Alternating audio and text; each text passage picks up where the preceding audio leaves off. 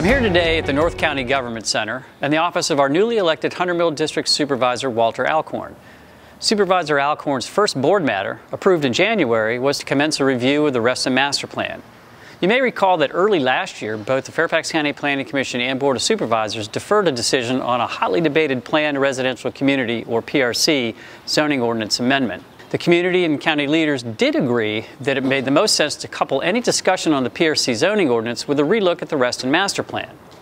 Supervisor Alcorn's plan amendment has put in motion a Reston Master Plan Task Force made up of 24 community members and seven alternates with representation from many community organizations. Interestingly, Supervisor Alcorn is chairing the task force, which I believe is a testament to how seriously he is taking this effort. The task force kicked off its work on May 11th and will have meetings approximately every two weeks for about a year. This is an aggressive timeline, and everyone interested in Reston's future should not only pay attention, but also participate in the meetings and dialogue.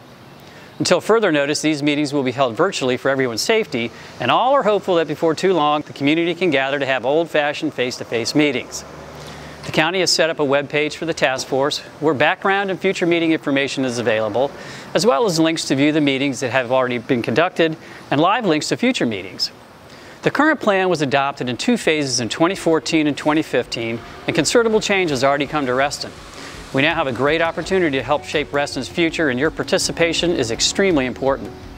Reston Association, which has representation on the task force, will be putting out updates on important aspects of the process and decision points that require greater community involvement.